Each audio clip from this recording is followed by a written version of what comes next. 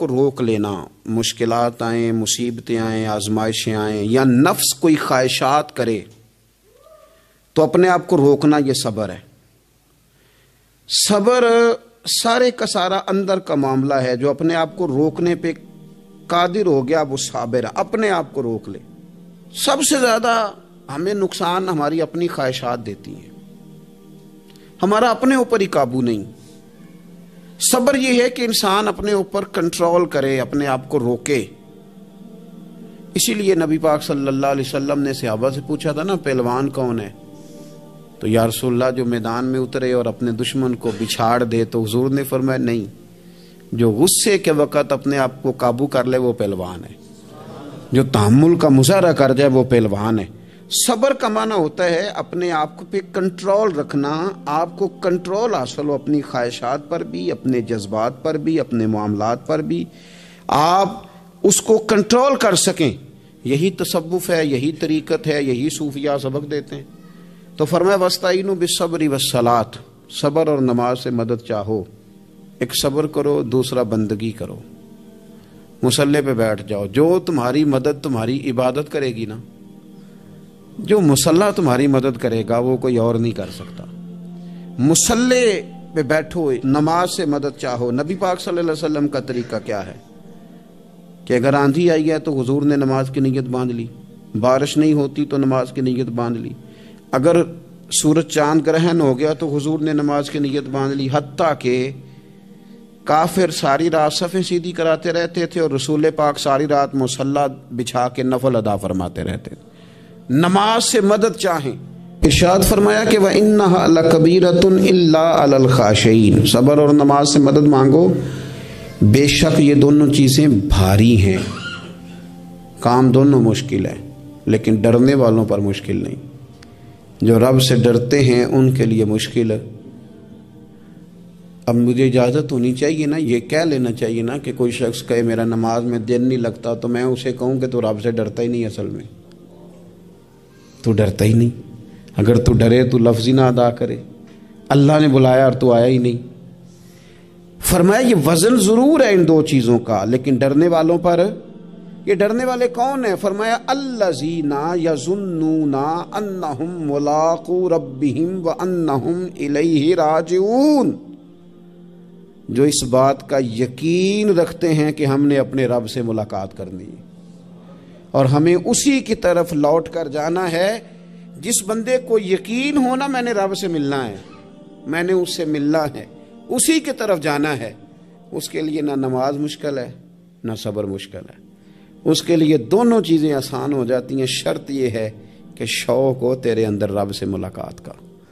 तुझे शौक हो। मेरे नबी पाक सल्लल्लाहु अलैहि वसल्लम ने फरमाया, लोगों, जो रब से मिलने का शौक रखता है ना, अल्लाह भी उससे मिलना पसंद करता है। और जिसके दिल में शौक ही नहीं रब से मिलने का। तो जो अल्लाह की मुलाकात पे यकीन रखता है ना, वो फिर नमाज़ और सब्र का आदि हो जाता है। तो इन तीन चार चीज़ों पर खूब तवज्जो करें, खूब तवज्जो करें। सब्र और नमाज़ ख़ास चीज़ है। हज़रत गौस आदम रदी अल्लाह तु फरमाते हैं, अगर आजमाइशें ना ना होती तो सारे लोग ही आबद जाहिद होते। ये तो आजमाइश आती है, सब्र करना पड़ता है तो फिर पता चलता है कि आबिद जाहिद कौन है। आजमाइशें ना होती तो सारी आबिद जाहिद होते। सैदिना व मौलाना मोहम्मद जूद वल करम वाला वसहबी वबारक वसल्लम। अज़ीज़ दोस्तों, कुरान मजीद ने नबी पाक सलाम के अखलाक आलिया की तारीफ़ की। और इरशाद फरमाया कि वह नकला खुलुकिन अजीम।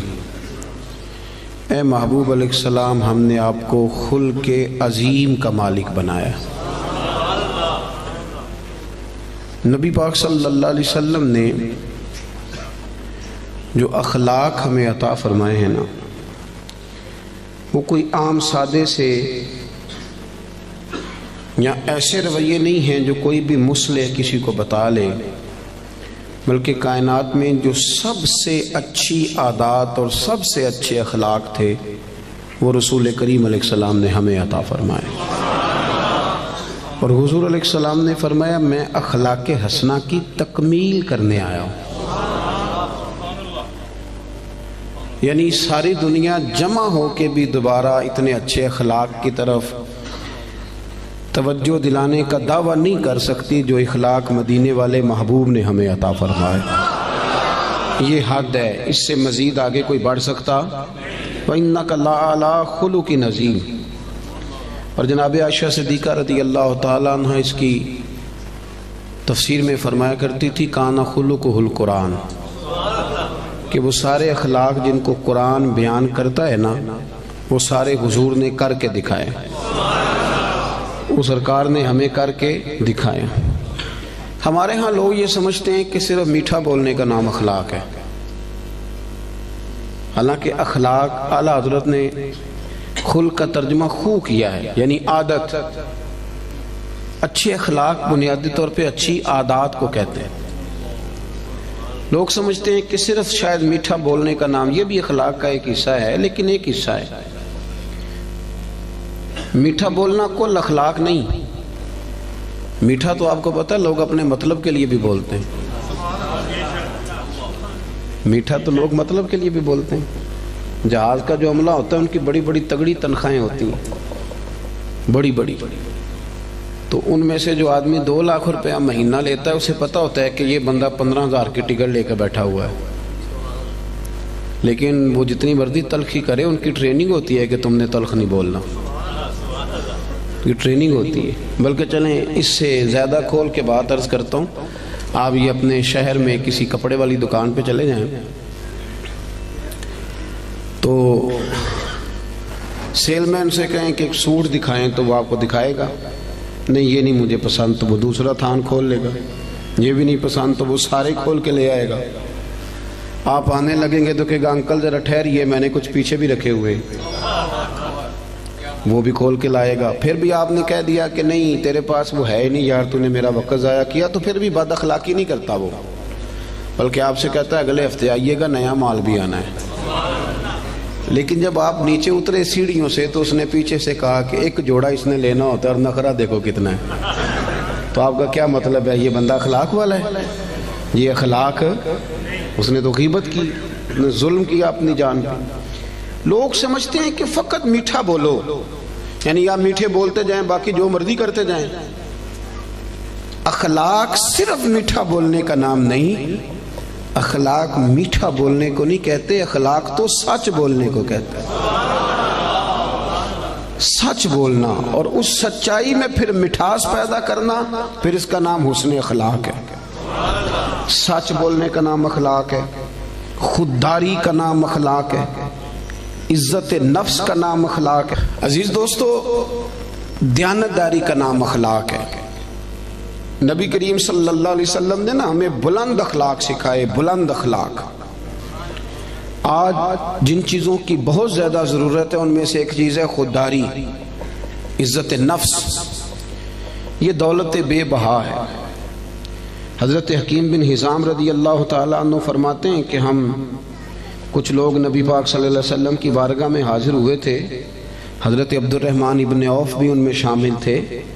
हम जब हाजिर, ये सियासता की रवायत है, कहते हैं, जब हम हाजिर खिदमत हुए तो हजूर ने फरमाया, मेरे हाथ पे बैत करो। तो हमने उसकी, हजूर, हम तो पहले बैत कर चुके बैत इस्लाम तो हो चुकी। हजूर ने दोबारा फरमाया, बैत करो। एक सियाबी ने फिर अर्ज़ की, हुजूर बैत कर चुके हैं। तो हजूर ने फरमाया, दोबारा बैत करो और इस बात पर बैत करो। कि किसी दुनियादार के आगे हाथ नहीं फैलाओगे। किसी दुनियादार के सामने एक है अल्लाह वालों से मांगना। अल्लाह वालों की मदद तो एन अल्लाह की मदद होती। है दुनियादारों से मांगना। और एक है दीन के लिए किसी को तवज्जो दिलाना, इसका भी माना और है। लेकिन अपनी ज़ात के लिए मांगना, लालच करना, लोगों की जेबों को देखना। हमारे नौजवान सारे तलाश करते फिरते हैं। वो मेरी लंदन वाली फूफी मेहरबान हो जाए तो मेरा काम बन जाएगा। कभी मेरा अमेरिका वाला मामू मुझे ले जाए तो मैं बच गया। सहारे ढूंढते फिरते हैं, सहारे कमज़ोर लोग ढूंढते। कमज़ोर लोग सहारे ढूंढते हैं। इस्लाम तो वो वाला अखलाक सिखाता है कि सहारे ढूंढो ना, बल्कि किसी का सहारा बन जाओ। सहारा बनो किसी का। हुजूर ने बकायदा बैत ली, फरमाया, बैत करो मेरे हाथ पर कि तुम किसी के आगे सवाल तो हज़रत यकीन बिन हिजाम का अपना ये हाल था कि बूढ़े हो गए थे, ज़यीफ थे, चलते थे तो कमर में तकलीफ़ होती थी। एक दफ़ा घोड़े पे बैठे थे या ऊँट पे बैठे थे तो हाथ से दुर्रा गिर गया ज़मीन पे। आपका खादिम करीब खड़ा था। बड़ी मुश्किल से घोड़े से उतरे, वो दुर्रा उठाया। दोबारा बैठने लगे तो तकलीफ़ हुई। दो तीन दफ़ा कोशिश करके बैठ गए तो खादिम कहने लगा, हुजूर, मुझे हुक्म दे देते, मैं पकड़ा देता। फरमाने लगे, कैसे तुम्हें कह देता?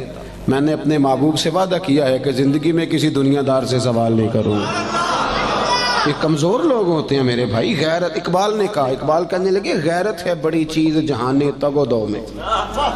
गैरतमंद बन, तू किसी के सामने हाथ फैलाता है। गैरत है बड़ी चीज़ जहाने तगो दो में। पहनाती है ये फकर को ताजे सरदारा। फरमाया, फकीर अगर सरदारी वाला ताज पहनना चाहते हैं ना तो फिर वो हाथ फैलाना छोड़ दें। मुस्नद इमाम अहमद बिन हम्बल की हदीस के दो जुमले इनको रट के याद कर लेना आपने। एक शख्स ने अर्ज़ किया था, या रसूल अल्लाह जिल्लत क्या है? तो नबी पाक सलाम ने फरमाया, अगर तू लालच करेगा तो जलील हो जाएगा। लालच करेगा तो जलील हो जाएगा। अर्ज़ की हजूर फिर इज़्ज़त क्या है? तो महबूब फरमाने लगे, जो रब ने तुझे दिया है ना, उस पर राज़ी हो जा, अल्लाह तुझे इज़्ज़त अता कर देगा। खुददार बने। कुरान पाक ने ना तारीफ़ की है, असहाब सुफ़ा की। कुरान कहता ला यस वो किसी से लिपट लिपट कर सवाल नहीं करते पेटों पे पत्थर बांधे हुए कई कई दिनों से रोटी नहीं खाई। पर किसी से लिपट लिपट कर सवाल, वो खुददारी वाले लोग, इज़्ज़त नफ्स वाले, वो हाथ नहीं फैलाते। वो उनका ये रवैया नहीं है कि कोई आएगा तो मुझे दे जाएगा। ख्वाजा हसन बसरी रहमत के पास एक नौजवान आया तो आगे कहने लगा, हज़रत जी मुझे समझ लग गई, आज के बाद मैंने काम कोई नहीं करना। अब मैं घर बैठूँगा, अल्लाह रोजी देगा। आप फरमाने लगे, जी, वो क्या समझ लग गई है? कहने लगा, मैंने आज अजीब बात देखी है, मैं जंगल में गया हुआ था। एक शेर आया है, उसने एक बकरे का शिकार किया है।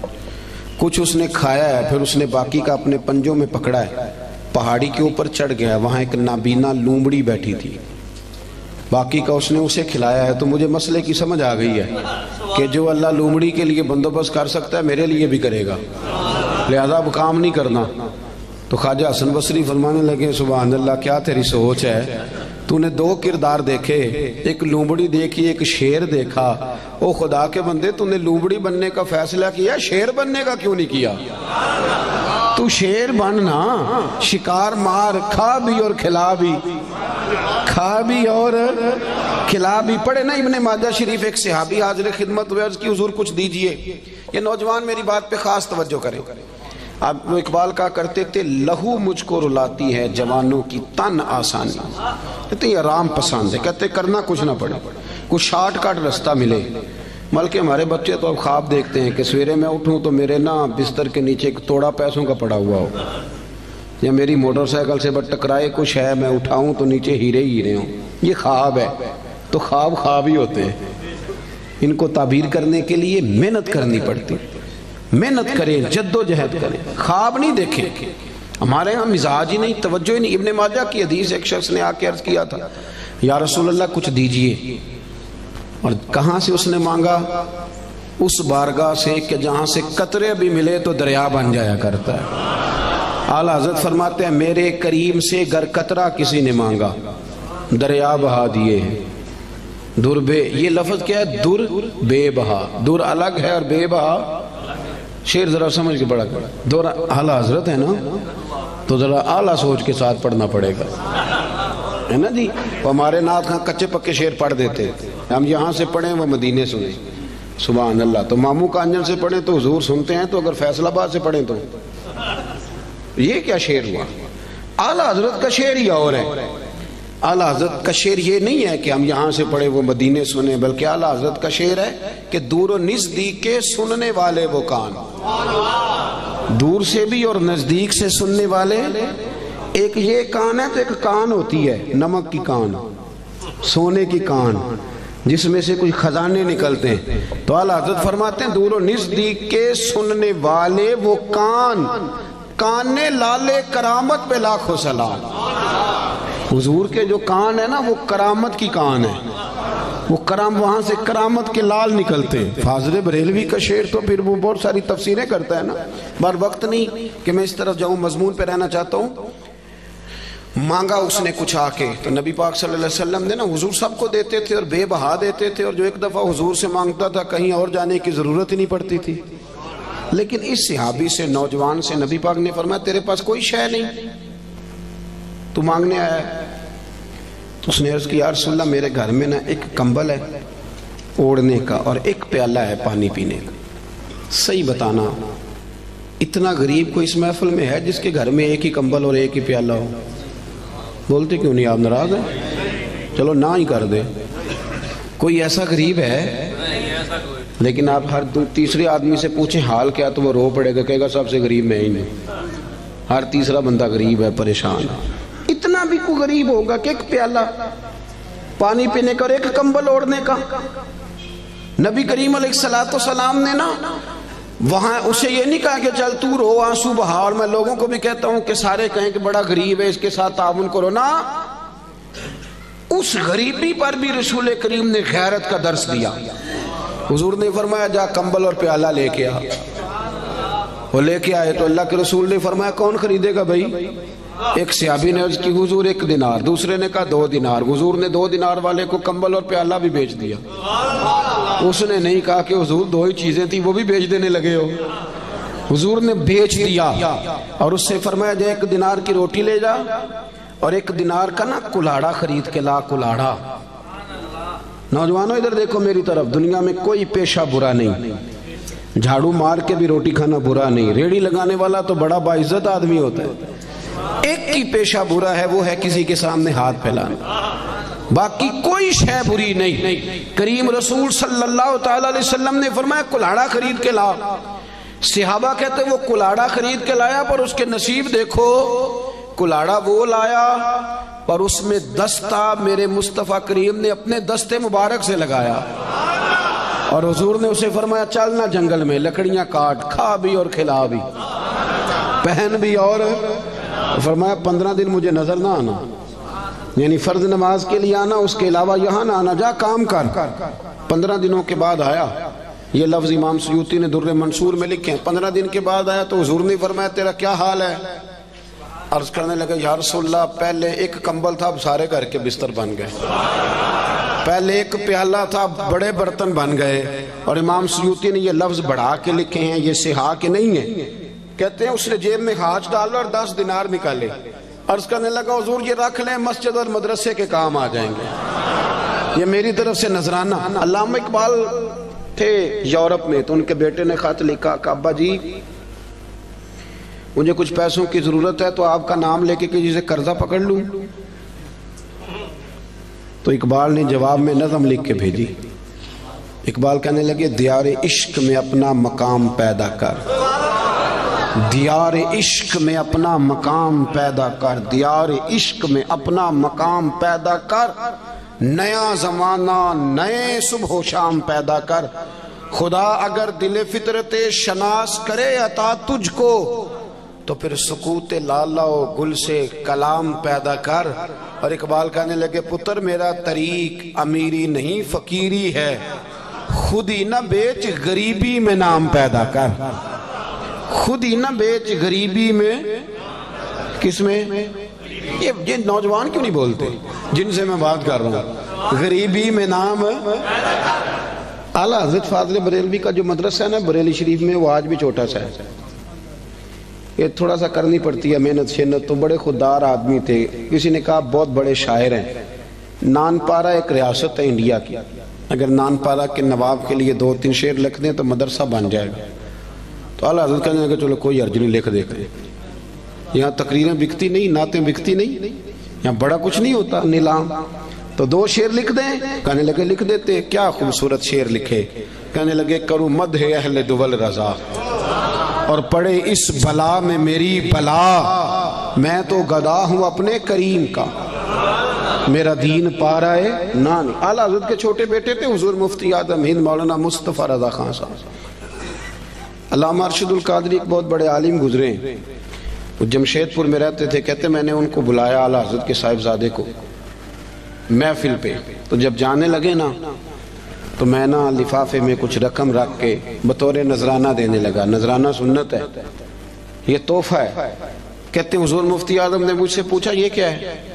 तो मुझे कहना चाहिए, था, नजराना है, तोहफा है। मेरे मुँह से निकल गया, हजूर किराया है। आने जाने का किराया है। तो कहते मेरे मुँह से निकल गया तो हज़रत ने लपेट के पैसे मेरी जेब में दिए। कहने लगे, अरशदुल कादरी साहब, ये रखिए। मैं अहमद रजा का बेटा हूँ, मैं किराए का मौलवी नहीं। कि जो किराया देगा और मुझे बुला लेगा। मेरे वालिद ने बताया है, करू मद है अहले दुवल रजा। पड़े इस बला में मेरी बला। मैं गदा हूँ अपने करीम का। मेरा दीन पारा है।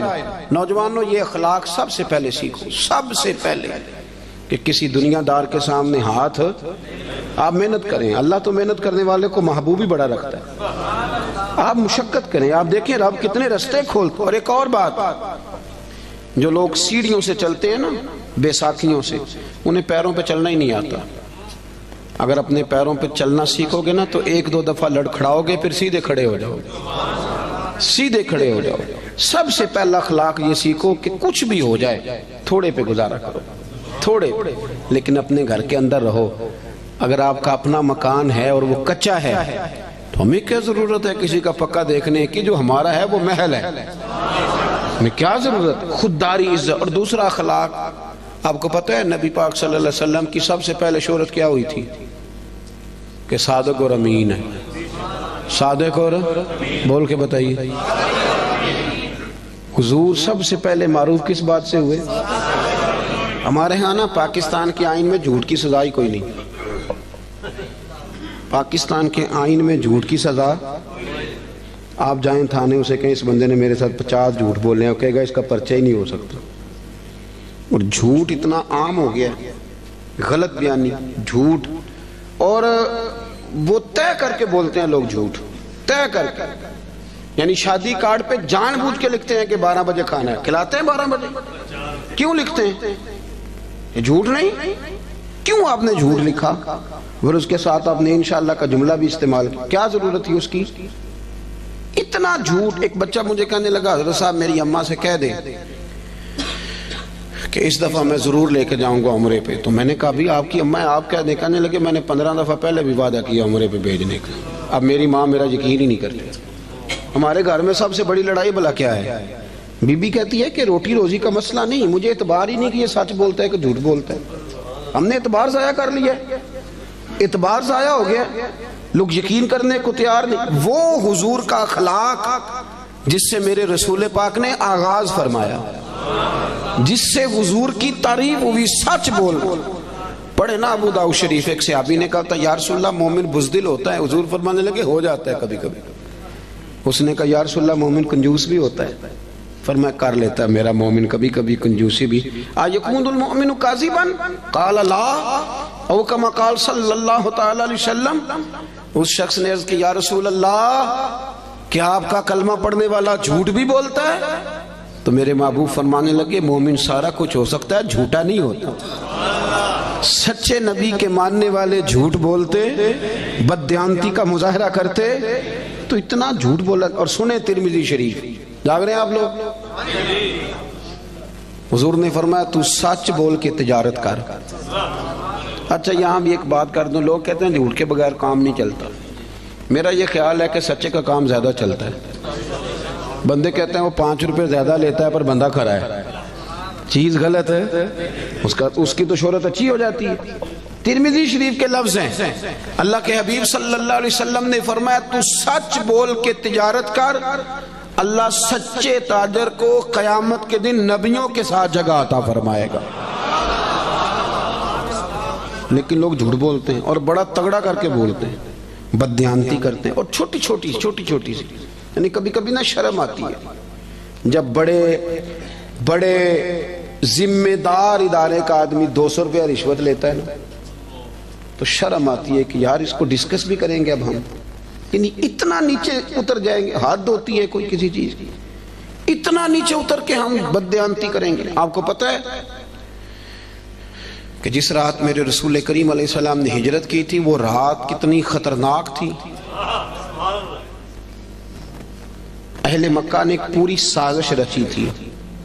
हर कबीले के एक आदमी को तलवार दी थी, हर कबीले के, ताकि हुजूर को मिल के अगर शहीद किया जाए तो किसी एक कबीले पर इल्ज़ाम ना आए। हर कबीले का बंदा आया था। चारों तरफ़ से घर को घेर लिया। वो तय करके आए थे कि माज अल्लाह सुम्मा माज अल्लाह हुजूर को शहीद करेंगे। वो शहीद कर रहे हैं। तो जो है मेरी बात पर? और सरकार हज़रत मौला अली शेर खुदा से फरमा रहे हैं कि तू मेरे बिस्तर पे लेट जा। सवेरे लोगों की अमानतें। वापस करके आ जाना। मुहक्कीन कहते हैं कि वो अमानतें भला किन लोगों की थी जो बाहर तलवारें लेके खड़े थे। मुझे सच बताओ कि जिस बंदे से मैंने लेना हो लाख रुपया वो उम्रे पे जाने लगे। हालाँकि मुझे पता है कि 20 दिनों में 28 दिनों में लौट आएगा। तो मैं उसे जाने देता हूँ। मैं कहता हूँ पहले मेरे पैसे रख। आप आप जरा इस बात को इस, इसको आम ना लीजिएगा जरा इसकी गहराई देखें। कि आप एक बंदे को शहीद करने लगे? आप उसका खात्मा करने लगे और आपके पैसे उसके घर में पड़े। अनोखी बात नहीं। अखनस बिन शुरैक अबू सुफियान कहने लगे कि सुना, तेरे भी पैसे वहाँ पड़े हैं। तो तू शहीद करने आ गया तो पैसे तो ले रहे थे। तो अखनस बिन शुरैक कहने लगा, अबू सुफियान, चुप कर। बात का तुझे भी पता है। और बात का मुझे भी पता है, वो बाहर से नहीं आए। यहीं पैदा हुए, यहीं जवान हुए। हमारे सामने उनकी कनपटियों पे बाल सफ़ेद आए। जानता तू भी है और पता मुझे भी है। मुखालफत जितनी मर्ज़ी करें, पर ये तो हमें पता है ना कि वो दुनिया से चले भी गए तो हमारी अमानतें फिर भी जाया नहीं होंगी आप क्या बात करते हैं साहब? तेरी सूरत, तेरी सीरत जमाने से निराली है और तेरी हर एक अदा प्यारे, अदाए बेमिसाली है। मेरे अज़ीज़, इतनी बड़ी बात कि पैसे घर में पड़े तो उनका यह दावा है कि वो शहीद भी हो गए तो हमारी अमानतें जाया।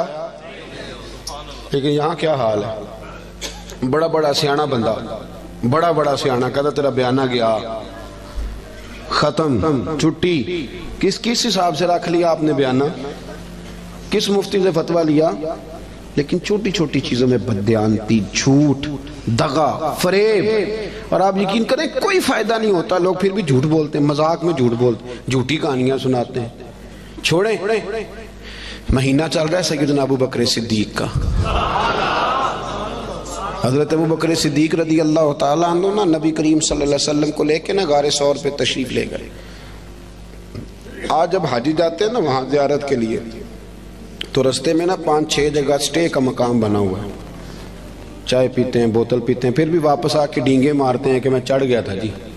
मैं हो आया हूँ जी। मैं तो यूँ गया और यूँ आया। हालाँकि रास्ता बना हुआ है, रास्ते में कई जगह पानी पिया है, फिर भी बड़ी भड़के। जब हज़रत सिद्दीक अकबर लेके गए थे तो रास्ता भी कोई नहीं था। वक़्त था रात का। वो दरवेशों ने क्या खूब बात की। जब देखा ना कि हुजूर को ज़रा तकलीफ़ हो रही है तो जनाब अबू बकर कहने लगे, हुजूर मेरे कंधों पे आ गए। वो दरवेश कहने लगे वो वेखो पब्बा भार कदम नहीं जे ते सौर पहाड़ ते चढ़िया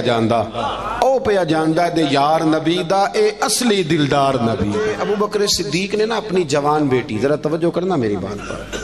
बेटियाँ बड़ी प्यारी होती जो लोग शुरू से यहाँ रहते हैं ना इस शहर में वो मोहल्ले में तो बच्चियाँ जानती होती हैं कि ये मेरा चाचू है ये मेरा खालू है ये मेरा सब अपने होते हैं। लेकिन इसके बावजूद भी रात को अगर जवान बेटी निकल जाए ना, चौक में माचस लेने तो सवेरे मुसीबत बन जाती है। वो बच्ची रात को निकल गई। और हो सकता है कि वालिद बंदूक निकाल ले कि तू कैसे बाहर गई थी? लेकिन यारो, वफा बड़े बड़े इम्तिहान लेती हज़रत सिद्दीक अकबर ने अपनी जवान बेटी जनाब असमा बिनते अबी बकर से कहा, पुत्र, मेरे नबी पाक को ना ताज़ा खाना मिलना चाहिए। हज़रत असमा कहती, मैं रोज़ रोटी पकाती थी। और ताज़ी पकाती थी।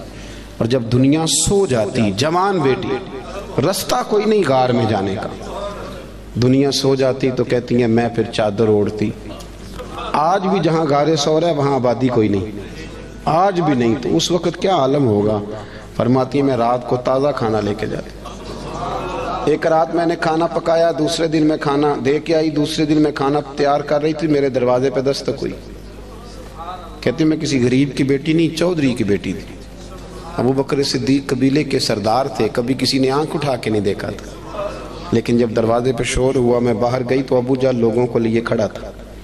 असमा, कहाँ गया तेरा बाप हुजूर को लेके? कहती, रश था मेरे दरवाजे पर। यार, कोई मामूली आदमी नहीं, सरदार, मालदार, वजादार, ताजर आदमी। तो कहती है, कहने लगा, किधर गए वो? हज़रत असमा कहती, अब मैं दोराहे पे खड़ी थी। अगर मैं बता दूँ कि वो गारे सौर में है तो मेरी वफा इजाज़त नहीं देती। सुनो, बता दूँ कि वो गारे सौर में है तो वफा इजाज़त और अगर मैं ये कह दूँ, मुझे पता नहीं तो ये झूठ है। ये मेरे नबी की शरीयत इजाज़त नहीं देती। किस किस मौके पर लोगों ने सच बोला किस किस तरह बोला? कोई फ़ायदा नहीं होता झूठ बोलते हैं लोग। दगा करते हैं, कोई माना ही नहीं, अपना आप खराब करते हैं। आप झूठ बोल के देख लें, आपका अपना दिल बेचैन हो जाएगा। मैंने कितना गलत काम किया। आप सच बोलेंगे, अल्लाह आपको राहत अता करेगा। सच में सुकून है, हुजूर ने फरमाया, सच तुझे निजात देगा, झूठ तुझे हलाक कर दे। हज़रत कहते, उसने फिर पूछा, बताती क्यों नहीं? कहा गए तेरे वालिद हुजूर को लेके? आप फरमाती, एक मिनट था मेरे पास फैसला करने के लिए। शरीयत बचानी है कि वफा बचानी है? एक मिनट था। कहती, उसने तीसरी दफ़ा कहा तो फिर मैं थी तो बीबी पर मैंने सारी हिम्मत जमा की। और मैंने फैसला किया कि मैंने शरीयत भी बचानी है, वफा भी बचानी है। कहती है उसने तीसरी दफ़ा कहा, बताओ कहाँ गए? तो कहती है फिर मैंने उसे कहा, अबू जाल सोन, में अबू बकर सिद्दीक की बेटी और सिद्दीक अकबर की बेटी हूँ। तेरे से जो हो सकता है ना, तू वो कर ले। मुझे पता है वो दोनों कहाँ हैं, पर मैं तुझे बताऊँगी नहीं। मैं नहीं बताऊँगी, मुझे पता है वो कहाँ है, पर मैं बताऊँगी। हाँ इश्क त्याग दो एक बराबर, पर इश्क दा सेक बधेरा अग ते साढ़े कख ते काने इश्क साढ़े तन मेरा, ते अग दा दारू मी ते पानी कोई दसे हाँ भला, इश्क दा दारू केड़ा? बुले शाह ते कुछ नहीं बचदा जिथे इश्क हुरां दा डेरा। पर मैं दोनों चीज़ें बचानी है। मैंने फ़ौरन कहा, मैंने कहा, मुझे पता है, पर मैं बताऊँगी। कहते जब मैंने ये कहा तो उसे बड़ा गुस्सा आया, उसने एक थप्पड़ मारा। ज़मीन पे गिरी, कान में बाली थी। पत्थर को लगा कान तो कान फट गया। कहती, मैं सरदार की बेटी थी, मैं को किसी छोटे आदमी की तो नहीं थी ना? जब कान फटा तो लोगों ने अबू जाल को पकड़ा। इधर आ तू, बच्चियों के मुँह लगता है। ख्याल कर, लोग उसे ले गए। कहती मैं उसी हाल में उठी। मैंने अपने कानों पे चादर लपेटी और फिर रोटी पकाई। और फिर मैंने देखा कि ज़रा लोग ज़्यादा गहरी नींद चले जाएँ। रात गहरी हो जाए तो मैं गारे सौर में गई। कहते, जब वहाँ खाना रखा, दिया जलाया तो जनाब सिद्दीक अकबर परेशान हो गए। असमा पुत्र मुँह क्यों लपेटा हुआ है? बेटी रहती हो ना दू कहीं। तो वो टेलीफोन पे रात, फ़ोन पे सही बात ना करे तो अब्बा सारी रात सोता ही नहीं। पता नहीं तीनों की और बच्ची मुँह लपेटा, क्या हुआ? कुछ नहीं, आप खाना खाएँ। क्या हुआ? अब्बा जी देखें क्या पकाया। असमा पुत्र बता क्या हुआ? जब जनाब सिद्दीक अकबर की तशवीश देखी तो हुजूर सैयद आलम, आका करीम ने फरमाया असमा बताती क्यों नहीं? क्या हुआ? अर्ज़ की, हुजूर कुछ नहीं। अबू जाल आया था। उसने पूछा है, मैं क्या करती? अगर बता देती तो दिल इजाज़त नहीं देता था, और अगर झूठ बोलती तो आपकी शरीयत में मना है। हुजूर, मैंने उसे कहा है, मुझे पता है, बताऊँगी नहीं तो उसने थप्पड़ मारा है। ये कह के जनाब आसमान ने जब चेहरे से कपड़ा हटाया तो खून फिर बहने लगा। हज़रत सिद्दीक अकबर ने आँसू समेट के दामन में छुपाए तो मेरे महबूब ने हाथ उठाए। कहा अल्लाह, मैं अबू बकर से राज़ी हूँ, तू भी मेरे सिद्दीक से राज़ी हो जाओ मेरे अजीजों, हम तो ना बिला वजह का झूठ, बिला हज़रत मारूफ करखी ताला बगदाद के लोग आपके पास आए, कहने लगे, हजूर, दुआ कर दें, बगदाद में बारिश नहीं होती। तो आप फरमाने लगे, ये जो मेरे सामने करियाने वाला है ना, ये जो दाल बेचता है, शक्कर बेचता है, गुड़ बेचता है, इससे दुआ कराओ, बारिश हो जाएगी।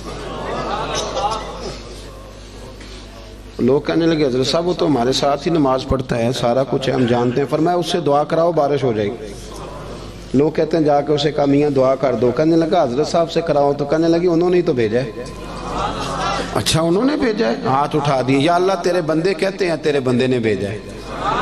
मेहरबानी कार, बंदों पे रहम फरमा।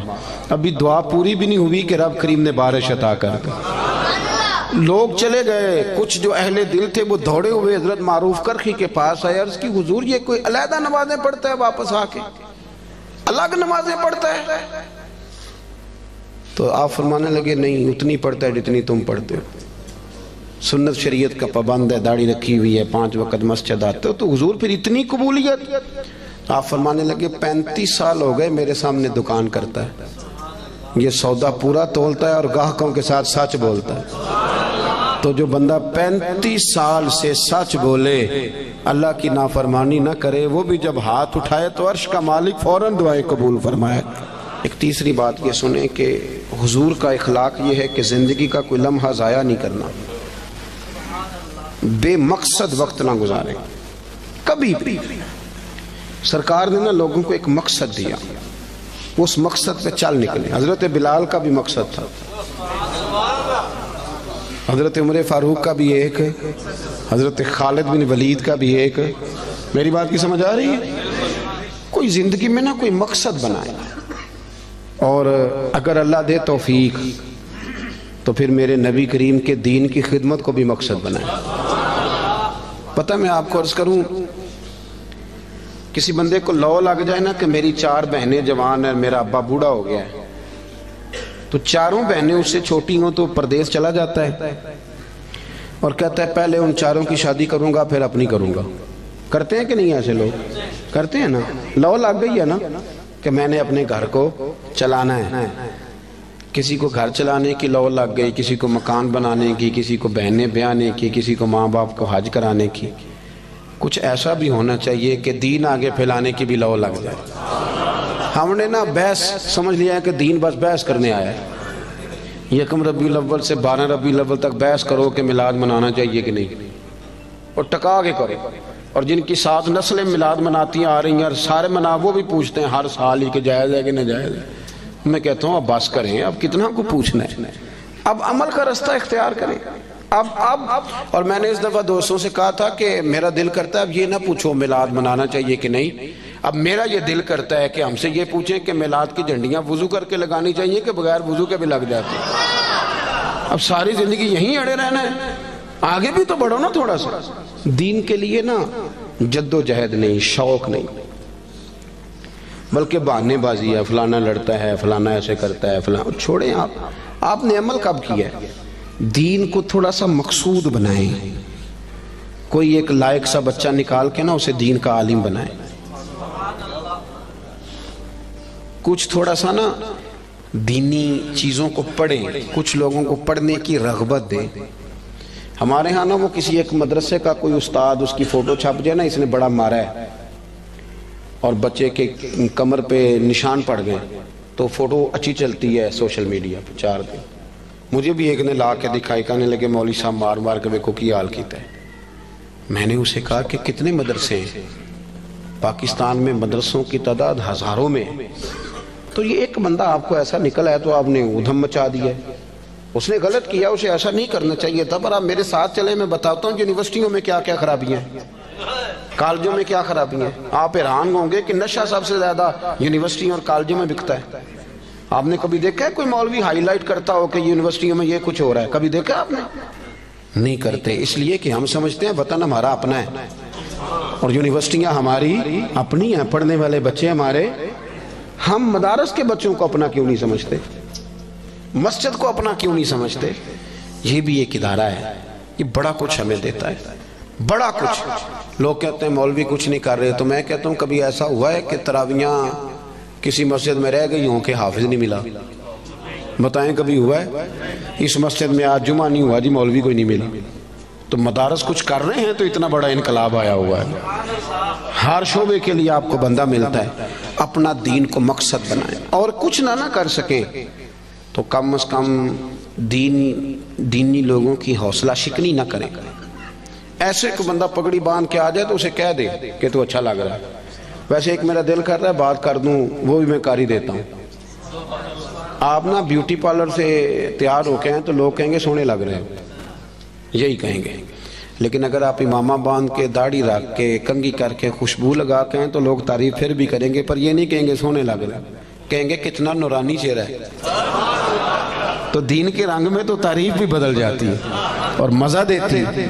तो अपना मकसूद बना मुझे बताया गया, यहाँ मस्जिद और बड़ी जल्दी मदरसे का भी आगाज़ होने लगा है।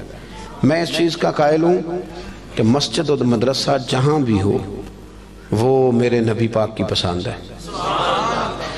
अपनी तवज्जो हाथ बढ़ाया करें।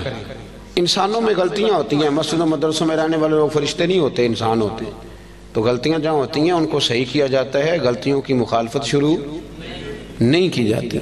इस मदरसे को, इस मस्जिद को आपने तवज्जो देनी है। तवज्जो। मेरे पास ना, मेरे कुछ मुरीदीन जो लाहौर से ताल्लुक़ रखते हैं, वो सारे आए हुए थे, कुछ दिन हो गए। वो काफ़ी सारे लोग थे तो कुछ वज़ाइफ की बातचीत चल रही थी तो मैंने उन्हें कहा भी तुम्हारा एक वजीफ़ा मैंने और बढ़ा दिया। वो पीर साहब, वो क्या? मैंने कहा, आप जिस जिस मोहल्ले से आए हैं ना, आपने हर जुमे अपने अपने मोहल्ले की मस्जिद की सफ़ाई करनी है ये हमारा वजीफ़ा है, इसको आपने पढ़ना है। और मस्जिद के इंतज़ामी मामला में मुदाखलत नहीं करनी। इमाम, खतीब, कमेटी क्या कर रही है, उससे सरोकार नहीं। मस्जिद की सफ़ाई करें। आप करके देखें, अल्लाह आपको सुकून अता करेगा। बहुत बड़े दरवेश गुजरे बाबा फरीद। जो बंदा कहता था ना, दिल परेशान है, उसे झाड़ू देते थे। कहते थे, जा मस्जिद में जाके झाड़ू दे, रब तुझे सुकून अता करेगा। और खुद फरमाया करते थे, उठ फरीदा सुत्या, ते झाड़ू दे मसीत। उठ फरीदा सुत्या, ते झाड़ू दे, बोलिए। चले, मजहबी लोगों से भी बात कर ही लेते वो इमाम साहब कहते हैं मसीद कमेटी दी वो सफ़ाई करे। मैं तो इमाम हाँ ना, इमाम तो नहीं ना सफ़ाई करता हूँ तो कमेटी वाले कहते हैं, हज़रत साहब, कराई सफाओ तुम कड़ा आप करनी बाला को करानी जी। वो भी बड़े पक्के हैं। तो मैं कहता हूँ कि मस्जिद कमेटी की है कि अल्लाह की है? इस यहाँ कौन आता है? अल्लाह के प्रोने आते हैं ना? अल्लाह के मेहमान आते हैं। मैं अलहमदुल्ला खुशी महसूस करता हूँ, मस्जिद को साफ़ करता इसलिए कि वो रब का घर है। आप मस्जिद में रहते, मैं मस्जिद में रहता हूँ, इसका क्या माना हुआ कि हम इसमें भी कहें कि हमारी हदक हो रही है हम किसी चौधरी का घर साफ़ कर रहे हैं तो रब करीम का घर है। आप क्यों ऐसी कच्ची उठ फरीदा सुत्या झाड़ू दे मसीत, और तू सुता रब जागदा, तेरी डाडे नाल परीत। उठ फरीदा सुत्या दाढ़ी आ गया पूर, अग्गा नेड़े आ गया पिछा रह गया दूर। उठ फरीदा सुत्या ते खलकत वेखन जा मते कोई मिल जाए बख्शिया ते तू भी बख्शिया जा। एक बात ये अर्ज़ की कि खुददारी पैदा करे, आला अखलाक और दूसरी गुजारिश ये की कि सच बोले दयानतदारी कम। और तीसरा अपना कोई मकसद बनाए, एक मिनट भी ज़िंदगी का ज़ाया ना करे। और अगर दीन मकसद बन गया तो फिर तो दीन भी मिल गया, दुनिया भी मिल गई।